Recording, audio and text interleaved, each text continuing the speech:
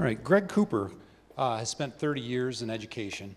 First, he was a middle school science teacher, then moved on to central office, where he was a director, and then uh, he spent time um, uh, as a high school biology teacher, or excuse me, central office director. And uh, while there, he spent time uh, working at the state level, um, editing the My Big project, and as a trainer for the My Climb project.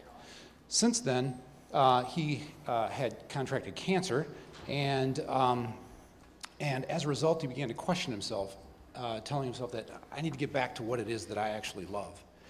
And so he actually went back into the classroom. And so he's going to talk to us tonight about uh, implementing the NGSS and the challenges that he's overcome in his classroom.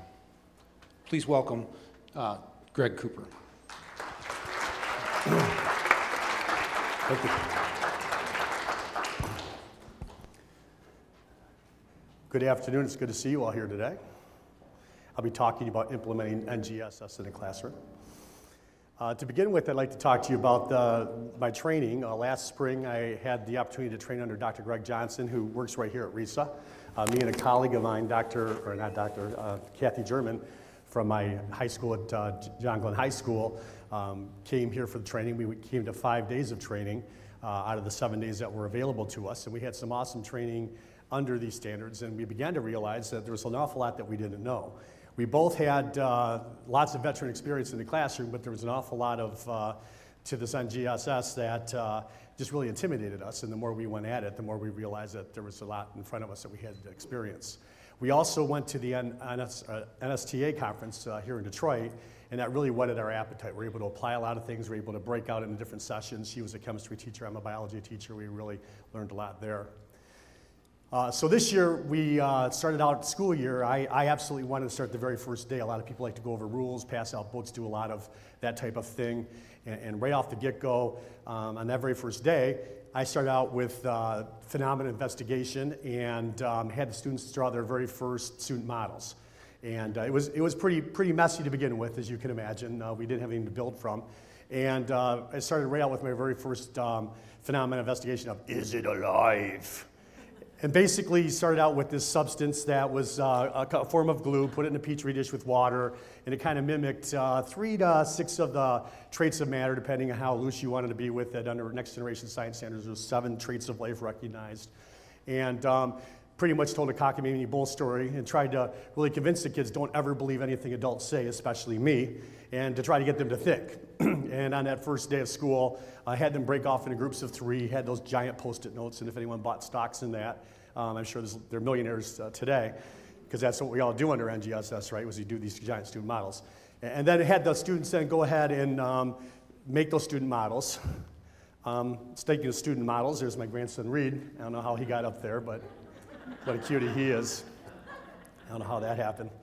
But back, back to student models. Um, that's an example of one of the student models that we're talking about. And, uh, you know, that had the students pretty much, uh, you know, put some color on it, try to add some life, do a before and after. And, um, you know, really had them try to describe what was happening. And had, you know, we talked about what the seven traits of student models were, or, or seven traits of being alive were. And then what I had them try to do to try to understand what a student model was is had them put sticky notes and try to put some positive and possibly negative comments about what they saw about it. I had them put the names of um, whoever was it made the models on the back. I didn't want it to become a popularity contest of I like it because so and so did it, or I didn't like it because so and so did it. And that seemed to be a real positive thing. So that was the very first student model that we did. Here's another student model that we did oh, about five or six weeks later. Um, this one was based on a burning log model. And this phenomenon investigation was based on the idea that I brought a log in from our camper and uh, brought some ashes that, you know, pretty much assimilated what the log would have burned down to and pretty much said to the kid what happened to the, to the mass of this log and had them draw out the student model of, of what happened and, and what happened to this mass. Here's another example of the same kind of um, investigation. And they could do it in a variety of ways. They could put words to go along with it and whatnot. And uh, again, they got better and better at it as we did it. It's just like any kind of a system. Once the kids understand what the process is, they get better at it. They get more comfortable with it. And they actually get excited about it. It was really, really very interesting. So that brings us to the next step. I, I, I happen to use whiteboards, and this builds upon the logic of, of what the student models were. And it also sets the basis and foundation for argumentative conversation. You need to have something in which the kids can argue. And you can't just have opinion, you need to have facts. We know in science it's all based on facts, right? So here's an example. Try to be very, very consistent with what that looked like. And so in the whiteboards that we use, we talk about the guiding question, we talk about the claim, they've got to make a stance, uh, the evidence, and the justification for evidence. And this is an example of them actually incorporating what the, going back to the, um, the, the burning log, what was the mass of the, of the ash, what was the mass of the log, and they went on to try to explain what they thought happened to the mass of, of, of that log. Uh, here's another example of a student whiteboard where we did something entirely different. Uh, this one happened to, to, talk about the Eurasian collared dove. I don't know if you're familiar with that invasive species, but in this particular one, in a nutshell, basically had the students go to the computer lab and to compare to this invasive species, and each group of three was assigned the idea of what happened to, they got to choose two local birds from a specific state, and they wanted to see what happened to the population of those two species as the invasive um, Eurasian collared dove went there, and they had to do research on this, and then they compared it compared to other students' research. And in this example, they had the guiding question to claim our evidence and their justification. And, you, and like anything in science, we want to be able to compare data. We want to be able to see what it was like. And that was the part of their justification for evidence. As you can see here, the Eurasian collared dove is a dark blue. You see here where their population increased and the other two local bird populations decreased here. And here you had another example of a white of a student whiteboard, and I just kind of picked this out of random of different classes. This one has to do with uh, Darwin's theory of descent with modification. And in this example, um, and this was with my accelerated biology classes, um, they basically went to a website and they were assigned four specific mammals, and there were six ones that they could choose from, and they basically had to measure the length and width of specific mammalian brains and they had to see if they could come up with this idea of support or non support for um, this descent with modification.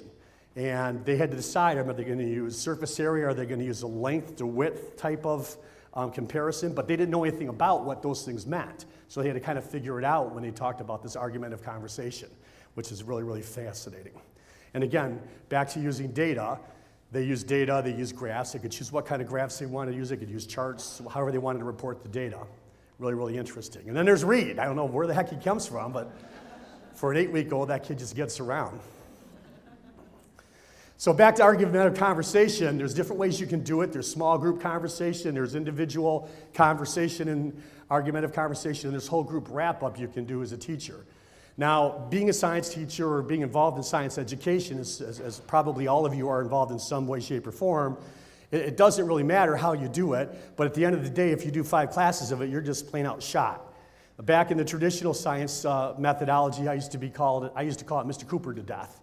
Uh, in this situation, if you do small group and you're working with 10 groups of three, it's a little bit more streamlined in how you do it because um, it's, it's a different way of managing it, but, it, but, it, but it's really, really interesting.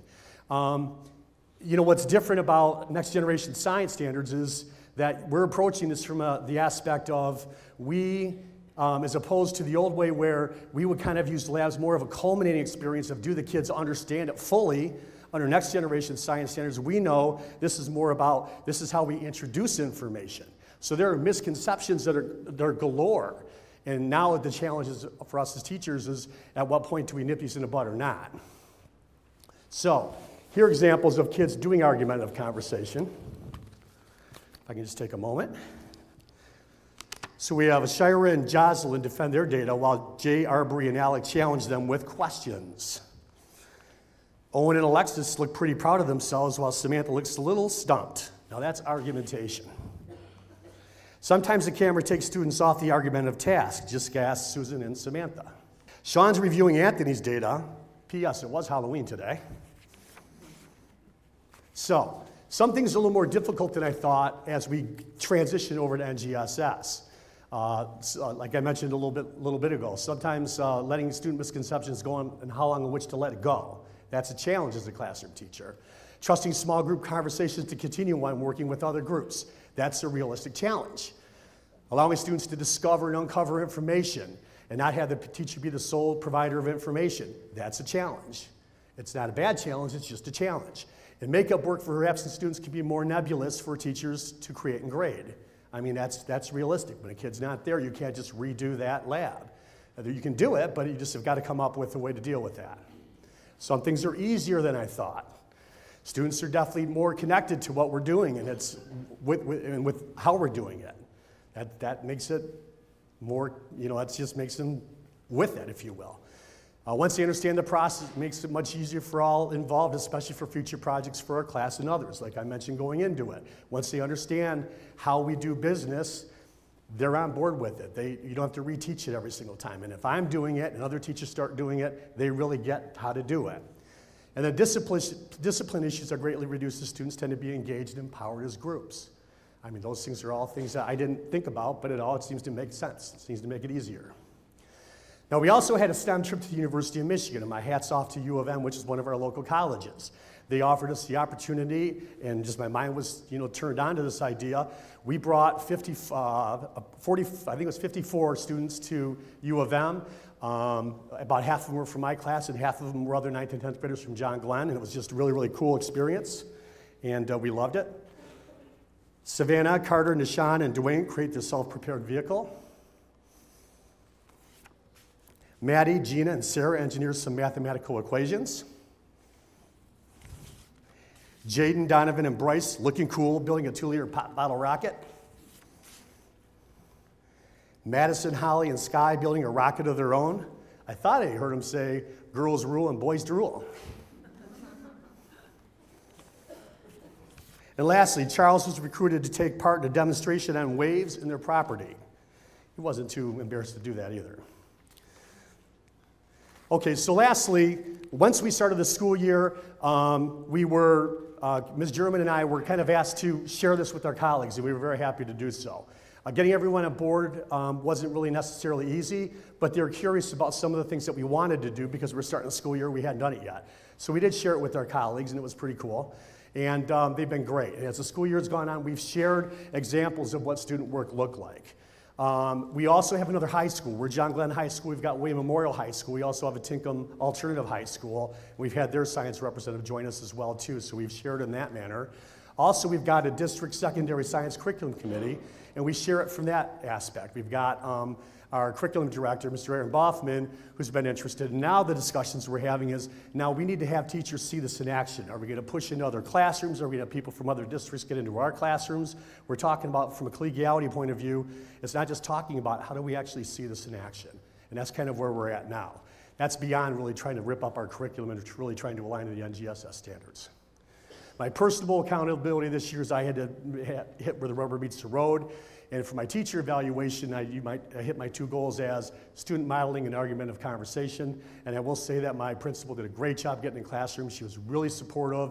And she, I made sure, and she made sure that we aligned our schedules, and she came in the classroom when I really focused on these things. It was really, really cool.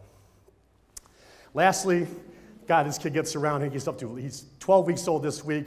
Here's Reed again. And I just want to say to you, thanks for coming out. Hopefully, you got something out of this. And my contact information is up there if you have any questions or anything I can help you with. CooperG at wwcsd.net. And thanks a lot. Hope you have some great sessions today.